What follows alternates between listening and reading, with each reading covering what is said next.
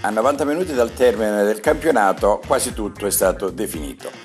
Con la vittoria della Gioiese che ormai abbiamo festeggiato già da diverse settimane, eh, anche le posizioni di rincalzo dovrebbero essere ormai eh, stabilite. La Promo Sport è sicuramente seconda perché è in vantaggio sullo Scalea nello scontro diretto, avendo i tre punti di vantaggio, quindi al massimo potrebbe essere raggiunta ma non superata. La stessa cosa potrebbe dirsi per il Brancaleone che essendo in vantaggio sullo Scalea, lo Scalea deve cercare almeno di raccogliere un punticino per rimanere almeno terzo perché altrimenti rischierebbe la terza posizione e quindi andrebbe a giocarsi il playoff in trasferta.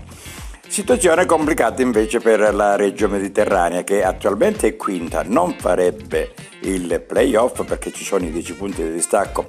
dalla seconda in classifica la Promosport e quindi deve cercare nell'ultima giornata di campionato di raccogliere qualche punticino. Il fatto sta che deve incontrare in casa il Bocale, un Bocale che è alla ricerca spasmodica di punti per evitare la penultima posizione in classifica e quindi giocare il play out contro la uh, quintultima.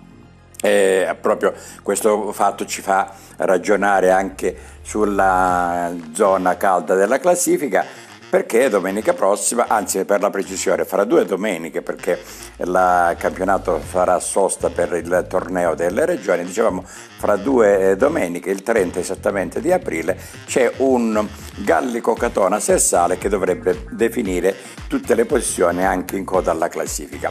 Il, questo incontro potrebbe favorire da una parte anche il Soriano di mister Scorrano che a 36 punti potrebbe già considerarsi salvo anche se poi può prendere un punticino in casa nella propria, nella propria partita contro la Promosport, già come dicevamo prima sicura seconda e quindi eh, non avere più la, l'assillo di doversi giocare il play out perché eh, sarebbe, rimarrebbe in sest'ultima posizione. Quindi questo Gallico Sersale definirà quali saranno la griglia, se ci sarà griglia, perché se invece il Sersale non dovesse perdere contro il Gallico, pur rimanendo in quintultima posizione sarebbe salvo perché ci sono i 10 punti di distacco dalla uh, squadra regina appunto. Quindi un campionato che è come tutti gli anni si deve giocare in coda nella, nell'ultima giornata di campionato, ma che eh, sono poche ormai le partite